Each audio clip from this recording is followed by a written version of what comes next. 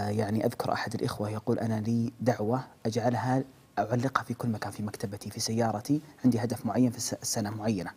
يقول أجعل هذه العبادة الدعاء الدعوة أدعو بها يوميا حتى تتحقق لو بعد سنة كاملة. يا سلام. فالإنسان دائما يحاول أن يرتبط بالله عز وجل بدعواته الصادقة. كذلك الله ربي لا أشرك به شيئا.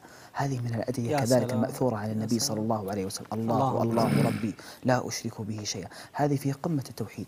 فظن أن لن نقدر عليه فنادى في الظلمات. إيش معنى فظن أن لن نقدر عليه؟ ها وش رأيكم يا جماعة؟ فظن أن لن نقدر عليه. إيش معنى فظن أن لن نقدر عليه؟ توقع أنه يعني ما يخرج من ظلمة أو من بطن الحوت جميل. من شدة اليأس أو شيء كذا. هذا الذي شائع عند الناس والعكس هو الصحيح.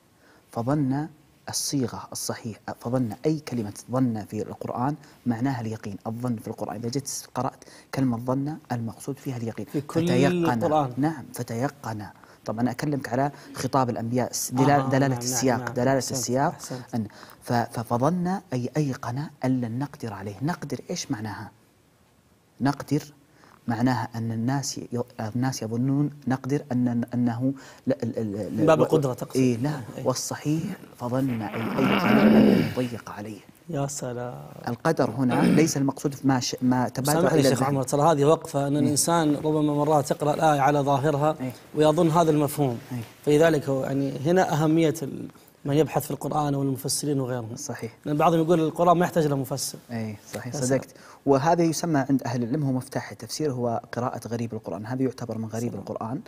آه وهناك آيات كثيرة مثل قول الله عز وجل فظن أن لن نقدر عليه أي أيقن أن لن نضيق عليه. وهو في بطن الحوت. تخيل واحد بادر بادر الذهن بادر ال ال ال الذي يأتي في ذهنك أنك في بطن الحوت بل سيضيق عليك وسيغرقك الماء وستموت. لكن هو داخل الحوت فنادى في الظلمات أن لا إله إلا أنت.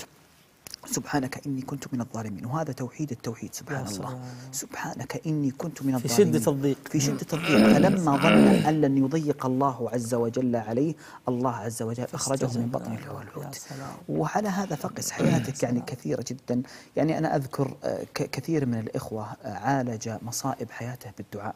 وهناك أشياء يا شيخ لا تترجم. يعني بعض الناس يعني آه يعني ليس هناك شيء أدفى من ذكر الله عز وجل والالتجاء بالله عز وجل. هناك يشعر الإنسان بالدفء والراحة لأنه مع حقيقة هذه الحياة. حقيقة هذه الحياة هي الالتجاء بالله عز وجل وأنك تفوض أمرك لله عز وجل. فإذا فوضت أمرك لله عز وجل استجاب الله عز وجل لك وغير حياتك من حال إلى حال. جميل. أنا أذكر تفضل. لا لا أسلم أسلم أنا أذكر أحد الإخوة ذكرتها في عدة أمور. أصيب سنذكرها ابنه بشلل. آه، رجل كريم من أهل جازان حارس مدرسة. لكنه رجل سبحان الله صاحب نسك وعبادة. ما شاء الله. والله يا شيخ أنه دعا الله عز وجل في جميع المشاعر وفي جميع الأمكنة ويقول إني أدعو الله عز وجل يستجيب الله عز وجل لي. فقلت يا أخي ادعى الله عز وجل بتلقائيتك. قال كيف؟ قلت يا أخ ما يحتاج له عربية. قلت طلع الكلام من قلب قلبك. نعم الله لا يريد فصاحة ألسنة فحسب بل يريد فصاحة قلوب. أحيانا نبضات قلبك هي التي تتكلم دمعاتك. أحيانا ما تقدر تتكلم تسجد تسقط بين يدي الله عز وجل فيتحشرج صدرك يوقف الكلام. الله عز وجل يفهم حشرجتك الله. ويفهم دمعاتك ويفهم حرارة حرارة أنفاسك بين يدي الله عز وجل. فإذا رأى الله عز وجل حرارة أنفاسك وحشرجتك وبكائك ودعائك لا يحتاج أن تتكلم. خلاص الرسالة وصلت إلى الله عز وجل ووضح استكانتك وانكسارك بين يدي الله عز وجل فأنت عالجت قدر الله عز وجل بقدر الله عز وجل وأنك تدعو الله عز وجل. ذلك الرجل قلت كلم الله عز وجل بتلقائيتك بعفويتك. قال كيف؟ قلت يا أخي كلم الله عز وجل بلهجتك العامية. والله أن الله أكرم أن يرد يدي عبده وصفرة قابلتنا في الحج. رجع سلمكم الله. وهو في الحافلة قافل إلى مدينة الرياض. إذا به يدعو الله عز وجل فإذا بابنته زوجته عفوا زوجة ابنه ترفع السماعة وهو يدعو الله عز وجل. هذا آه، آه، صاحب الحملة في الحافلة يقول ذكر لي هذه القصة. فيقول فرفع السماعة فإذا بزوجة ابنته كلمة قالت يا أبو علي قبل شوي وأنا بجانب سرير ولدك علي أتقهوى التفت للسرير ولدك علي فإذا بابنك علي قد قام من مكانه. من الذي أحياه من الذي شفاه؟ من الذي كشف عنه بلواه ولأواه؟ إنه الله. سبحان أنا سمعت هذه القصة يا شيخ عبد العزيز. فلما سمعتها قلت يا أخي يعني لهالدرجة أنا يعني يعني استجاب الله عز وجل له. فكلمت مدير الحملة أو مشرف على الحملة قلت يا أخي أنا أبغى أقابله في مدينة الرياض هو في الرياض. وأصله من مدينة جازان فتوجهت أنا وياه في مخرج جدة هنا في مدينة جميل. الرياض.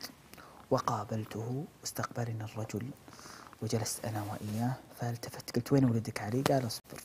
ففتح أحد الشباب الباب ومعه آه، القهوة والشاي يحملها قال شفت لي شاي القهوة والشاي؟ قلت نعم. لا. قال الذي وقف على أقدامه. قلت نعم. لا. وقال هذا ابني علي.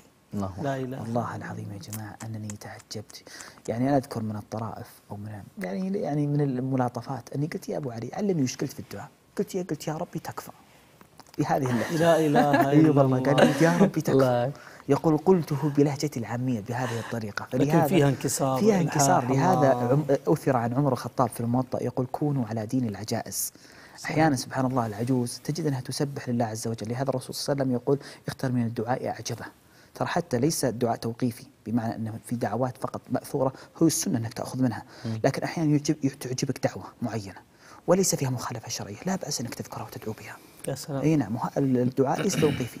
فلهذا تجد أحيانا بعض العجائز وكبار السن تجد عندهم بعض الدعوات لكنها. تخرج من قلوب قلب قلوبهم. إي والله. زين دعوات. فنسأل الله عز وجل أن يعني آه، يرزقنا التوفيق والسداد. والرضا بقضاء الله عز وجل وقدره. خير وشر.